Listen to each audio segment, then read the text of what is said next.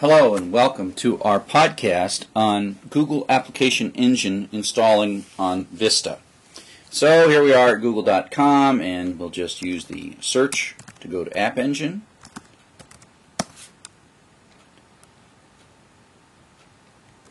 And we'll find the Google Application Engine website.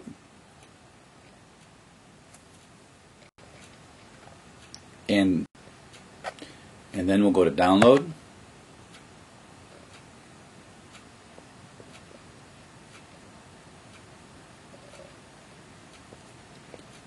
then we will download the Windows version of the App Engine.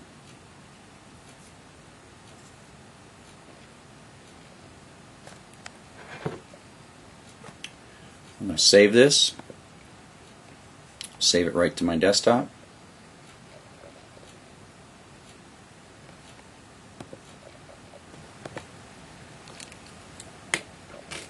So it's now been saved to my desktop. I'll close this. I'll close this and now I'll go ahead and install it. And yes I'm happy to run this. It's got I've got Python 2.5 already installed in this computer otherwise it would ask us to install Python 2.5 and it's a pretty quick install process just press next a few times.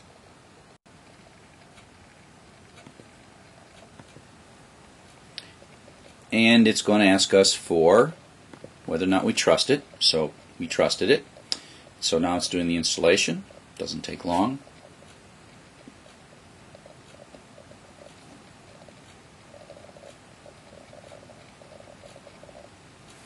So now we're all done. So the uh, first thing I'll do is I'm going to clean this up, get rid of that off my desktop. Um, now we're going to write our first program. And I'm going to use JEdit to do that.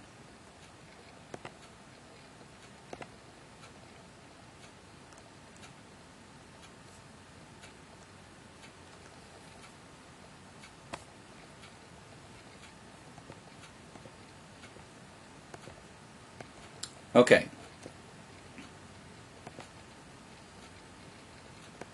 So the first program, going, uh, the first thing I'm going to do is I'm going to build. I'm going to build two files. The first file I'm going to build is the app.yaml file.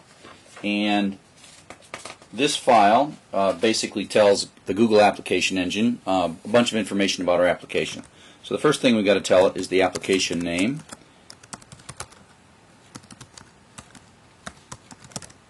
And the second one is the version. This is the version of our application. We're going to do this in the Python runtime. Right now that's the only choice we've got. API version. Of 1. The next thing we've got to do is tell it which scripts to route each URL to. So the URL handler dash URL colon, and then this is what's called a regular expression. Anything that starts with a, starts with a slash and dot, uh, dot, which is an arbitrary character, followed by any number of arbitrary characters. Don't worry about what that means. You can look up regular expressions on Wikipedia if you really are curious. And then I've got to indent two spaces and type script colon index.py. And that's it. And so there's sort of this up front part and then there's these handlers. And I'm going to save this. I am going to go to my home directory. Then I'm going to go to my desktop. And then I'm going to make a new directory called apps. And in that new directory, I'm going to make another directory called AE01 Trivial. I, the convention is to name the directories the same as the name of the application names. Go into the AE01 Trivial, and I'm going to save this file as app.yaml. So you'll notice that appears on my desktop. I've got a nice clean desktop. And in AE01 Trivial, we've got exactly one file, and it's app.yaml. So next I'm going to make another file and this is going to be really simple.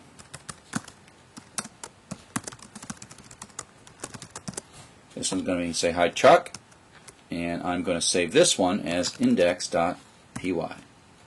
So now I have two files in that directory. One is app.yaml, and the other is index.py, and of course it's conveniently showing uh, hiding the uh, suffix for us to keep us from being confused.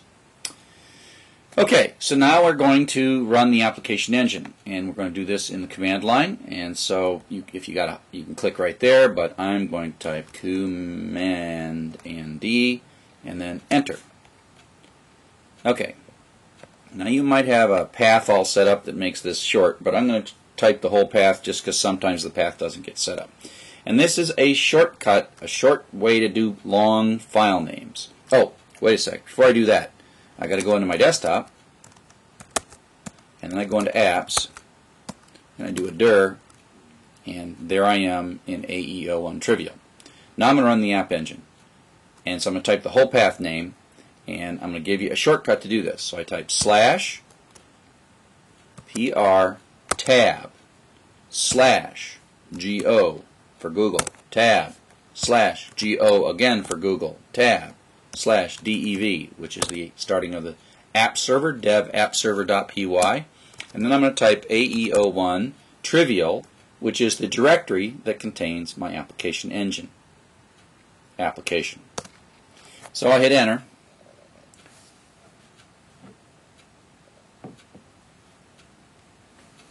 So it's not particularly happy with me.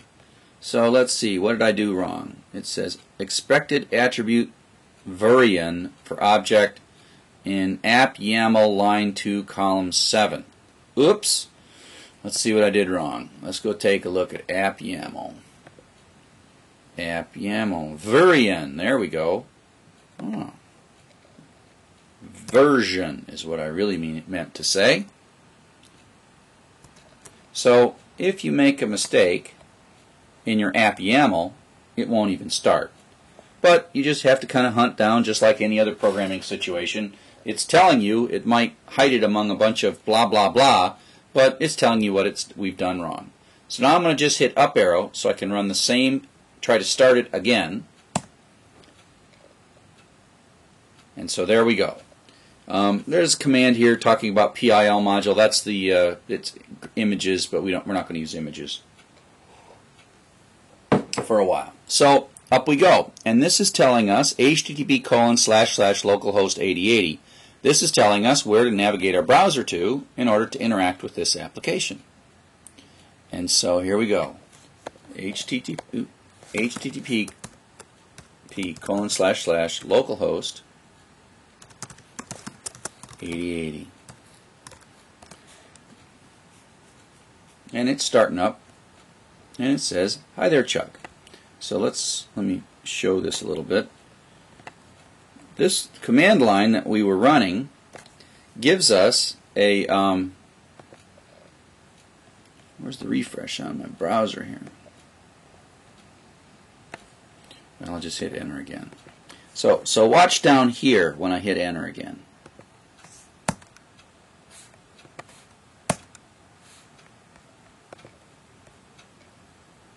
Oh, there we go. Now I got refresh. So I can hit refresh.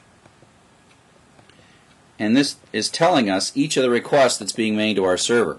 And it's just doing a get slash. And that's what's in this slash is being slash starts with slash so it gets routed to index.py. So it runs the index.py program. And son of a gun if the output doesn't come right out to our screen here. Okay? Okay, so you can watch in the log.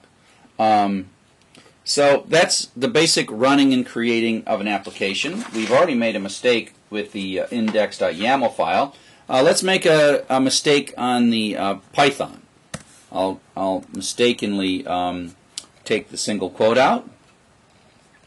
And you'll note now when I hit refresh, a whole bunch of stuff happens. Okay, so you get this ugly purple error message that tells you something is wrong. It uh, could have been subtle about this, but it's going to tell you a lot.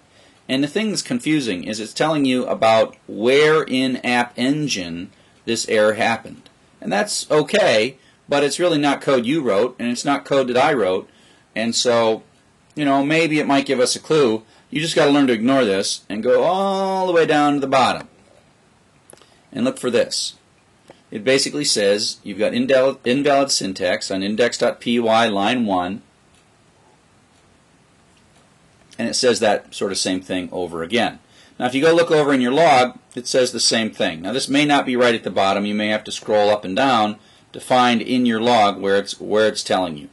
But sooner or later it's telling us line 1 index.py and so I will make that change and put the quote back and hit the refresh button over in my browser and it's happy now. And that's one of the nice things. While this thing is running, you can make changes and save them and just hit refresh. So it when you change the files, it, it automatically knows that and it automatically reloads the files and uh, runs the new version. So you you don't have to start and stop this uh, server. The only time you have to start and stop the server is if the uh, if your um, if your YAML file was wrong, it won't start it. But other than that, that's pretty much it. Um, I'll close this. I'll close this, and to uh, stop the server, you simply close it like that, and that's the end.